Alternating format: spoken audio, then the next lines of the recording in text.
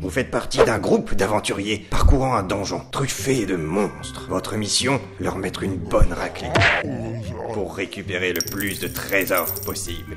Chaque joueur incarne deux personnages, l'un avec sa main gauche et l'autre avec sa main droite. Chaque personnage possède des compétences particulières de combat. Lorsque les monstres apparaissent, les joueurs tapent rapidement pour indiquer quel héros il envoie au combat.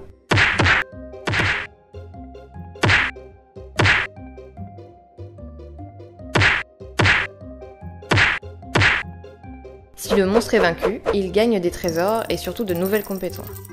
En cas de défaite, le joueur sera pénalisé en fin de partie. Tout au long de votre parcours, les monstres seront de plus en plus puissants. Ils vous prépareront à combattre le maître du donjon et son dragon. Baf Jeu de main, jeu de vilain.